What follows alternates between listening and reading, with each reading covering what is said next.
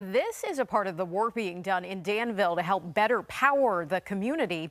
The Whitmell and Kentuck substations are in the process of renovations and will be completed later this summer. The director of utilities for the city of Danville says these upgrades are good maintenance and will help attract new developments.